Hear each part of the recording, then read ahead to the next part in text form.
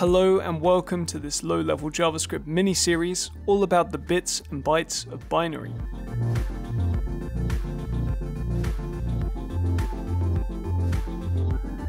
Numbers are only as good as the operations that we can perform on them.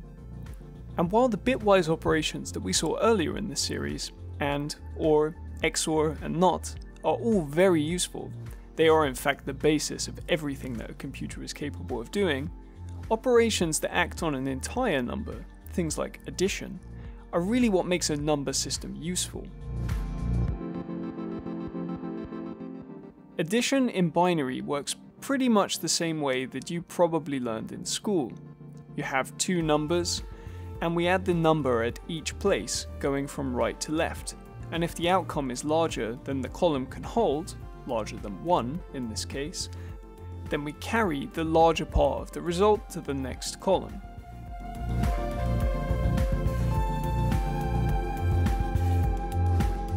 We can formalize this process of carrying by always having a carry bit, but starting it out at 0.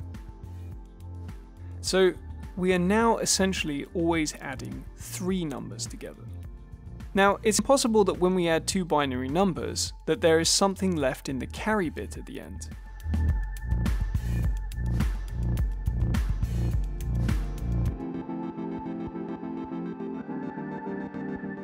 And this is known as overflow, and that can be a problem if you expect the result of your addition to fit inside a fixed number of bits, since that carry bit will simply disappear, and you will not have the expected result of your addition. To make sure that we can handle this problem in our own implementation, we will always return the new binary number with the carry bit included. So when we're adding two 4-bit binary numbers, the result will always be a 5-bit binary number. Let's implement this process in our binary class. We're actually going to do this the way that real computers do it, with logical operations which is a formalized version of the process that we just looked at. We'll have an add method taking another binary and performing the usual assertions. Then we can create a mutable variable called carryBit, which will start at 0. The new bits will be the result of combine mapping the two bit arrays, but we'll actually have to do these in reverse, because we need to start adding the least significant bits first, so that the carry propagates upward. Unfortunately, array.reverse in JavaScript mutates its inputs, and we would like to preserve those 2-bit arrays, so let's write a utility function first called reverse. All reverse is going to do is take an array and spreads out that array into a new array and call reverse on that. That allows us to preserve that original array. Now we can return a call to combine map reversing the two binary bit arrays, and use a transformation function that receives each bit of both numbers. Now, the way that addition works at the logical level has to be explained in two steps. Firstly, there's something called a half adder, which can add two single bits together and is made up of an AND gate and an XOR gate. The two bits are fed into the XOR gate and this defines the output of the sum. If either is a 1 and the other is a 0, the output is a 1, which is correct for addition. If both are 0, then the output is 0, which is also correct. And finally, if both of the inputs are a 1, the output is a 0, since this is exclusive OR. But that's also correct because two bits with a value of 1 would imply that we need to carry the result to the next column, so this also works correctly. So then the AND gate determines the value of the carry bit. Since it's an AND gate, we're saying that the output will only be a 1 if both of the inputs are a 1, which is also when we would carry.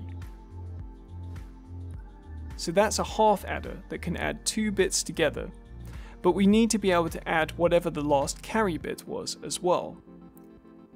In other words, we need to add three bits together. And the way that we do this is by chaining together two half adders. So first adding the two inputs A and B together and getting a sum and a carry bit out. And then bringing the existing carry bit and feeding that into another half adder using the sum of A and B as the other input. The sum that we get out on the other side of this is the final sum of the bits.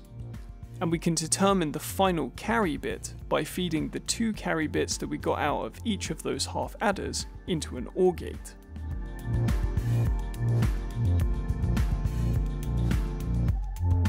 Translating this into JavaScript is quite straightforward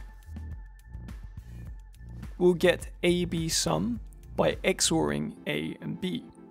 And we can get AB carry by ANDing A and B. This is our first half adder. Then we can get AB sum plus carry by XORing the AB sum with the carry bit. The AB sum carry is the result of ANDing AB sum and the original carry bit. This is our second half adder. And now the new carry bit is AB carry or AB sum carry.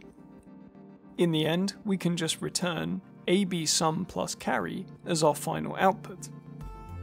At the end of the add method, we need to return a new binary where the first bit in the array is the carry bit, and the rest is the result of spreading out and reversing the new bits. And remember that we need to reverse the bits because we reversed the input bits when we actually performed this addition.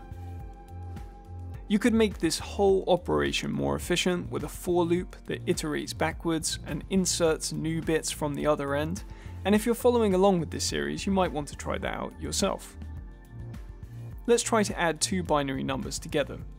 A will be 7, which is the 3-bit binary number 111, and B will be 6, which is the 3-bit binary number 110. Then we will log out the result of A add B, and we see that we get 1101, which is of course now a 4-bit binary number, and that represents the number 13. So this is correct for 7 plus 6. To recap, addition in binary works basically the same way that you learned at school with decimal. This process can be encoded in the logical operations using AND, OR, and XOR gates. And when we get a binary number with n bits, we're going to get a new binary number with n plus 1 bits. Otherwise we're risking accidentally overflowing our calculation.